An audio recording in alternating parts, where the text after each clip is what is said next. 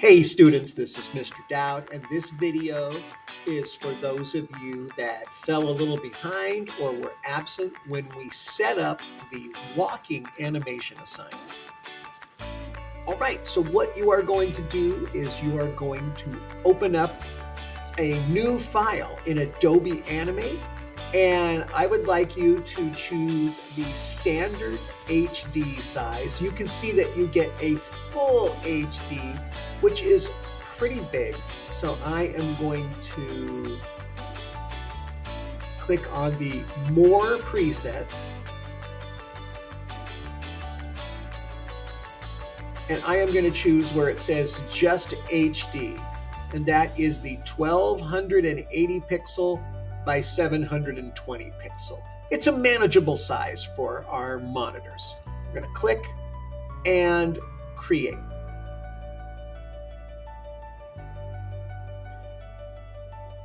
Here you can see that we have the stage, which is our area that uh, our work area in Adobe Animate. And uh, right away, I see up here at 100%, and if I look, that means it is bigger than my window just by a little bit.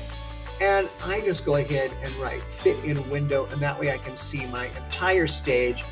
And because animation involves movement, the other thing that I want to do is turn on my grid in Adobe Animate what I can do is do the control key on the keyboard and the quote mark, which is just to the left of the enter key, and that will turn on my grid. You can see all of my little squares here.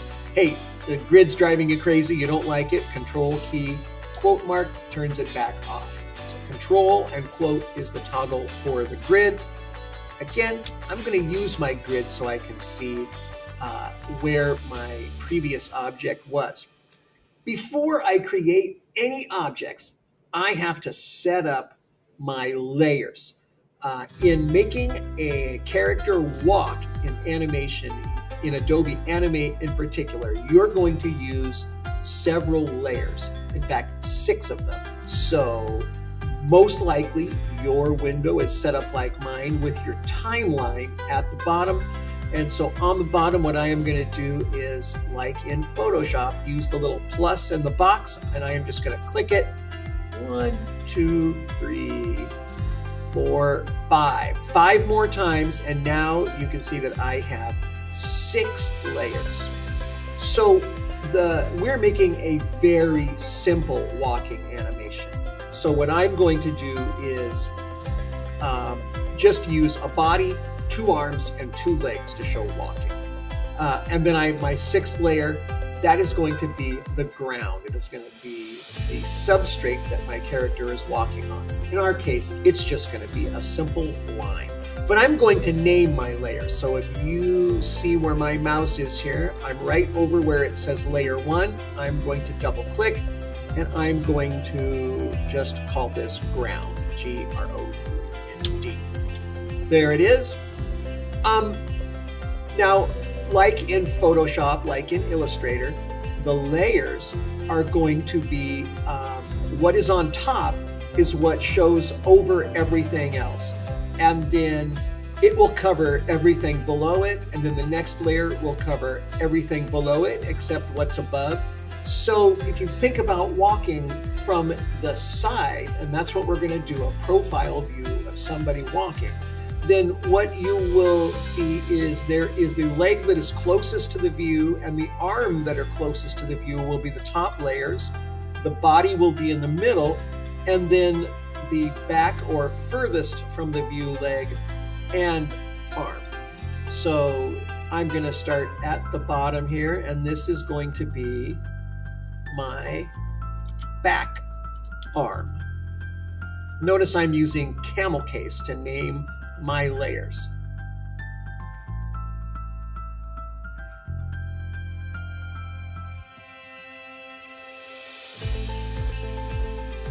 So these are my layers. Hey, if you mess up their order, don't worry about it. You can always click and drag and move the layers around. Hey, I do want my front arm at the top. And that's because if you think about looking at someone from the side, the shoulders a little wider than the hips, the arm will hang down in front of the leg as viewed from the side. All right, so I've got front arm, front leg, body, back leg, back arm, and the ground.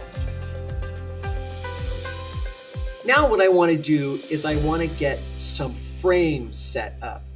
If you remember a couple weeks ago, we looked at a video that was just introducing us to animation. And one of the things the narrator talked about was animating on the twos, which means that for every, um, for, instead of animating a picture for every frame, we are going to animate the same picture every two frames. Oh, by the way, notice I am set at 24 frames per second. If your file did not default to 24 frames per second, if it instead says 30, I'd like you to go ahead and right click in the stage, document, and then right down here, you can click and you can reset your frame rate. Make yours 24, just like mine is.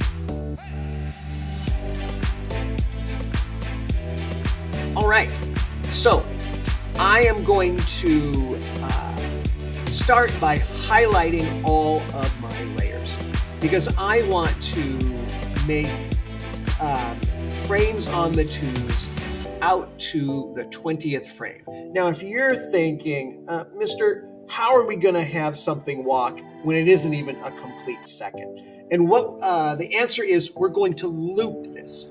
And so we are going to make a cycle of two steps that is the front leg going forward through the step motion and then the back leg coming forward uh, as the legs switch. And then throughout uh, any other animation use we have, we're going to be able to loop that step. So what I'm going to do now is hold down the shift key and click my ground layer. So I've got my top layer highlighted, my front arm layer. I'm going to hold the shift key, go to the ground layer. Now you can see all of my layers are highlighted. They are all lit up. You see I have a slider here above the frames, the frames being these little rectangles. And what I'm going to do is go to the very top of the keyboard and I'm going to press F5 key. And when I do, you'll notice what happened. It just uh, made a, a lighter shade of gray over the next frames. I'm going to keep doing it. I'm going to keep doing it. And you can see that I keep highlighting frames. Now I'm at five. I'm just going to keep pressing F5 until this highlight gets to 20.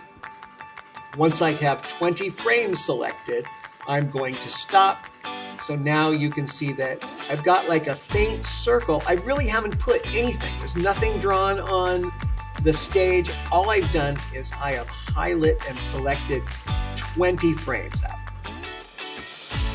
All right, now I am going to set up my frames so that I animate on the twos. You'll notice that my layers are highlighted, but when I click, they become unhighlighted but that's all right if I can actually highlight in my frames the same way. If I hold down my shift key and I, in the top frame, I can uh, shift and then click on the bottom and you can see that first frame is all highlighted now. What I want to do actually is count out two frames at a time. So I am going to go from one, two, and three. So I'm three right here, and I'm going to hold the shift. I'm going to click on the third frame on the bottom. Notice this entire column of frames is highlighted, and I'm going to press the F6 key this time. And there we go. I've got a uh, black empty circle, and then the next frame has a little dash in it, and you can see a line that separates those. I'm to do the same thing. I'm going to count. I can use the arrow key. One, two, to select, hold the shift key, select at the bottom, F6. And I'm going to repeat this process until I have made keyframes every two frames. Here I go.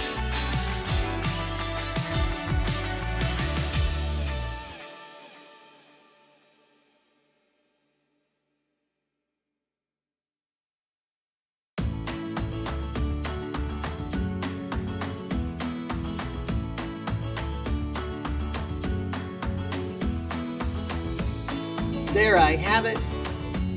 I have 20 frames, but on the twos. Now I am set up to actually start my animation. My uh, file and my stage has a HD screen. It has six layers, including a ground layer and the body parts as you see here.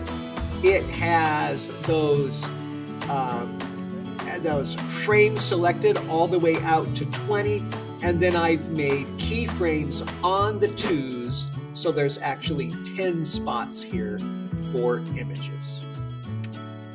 Now that I've got that, I am ready to go.